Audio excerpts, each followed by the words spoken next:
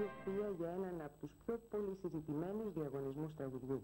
Μιλάμε βέβαια για το διαγωνισμό τραγουδιού της Eurovision. Όσοι παρακολουθείτε την πορεία αυτού του θεσμού θα θυμάστε βέβαια τον περσινό νικητή, τον Ιρλανδό Τζον Λόγκαν και το τραγούδι του Hold Me Now.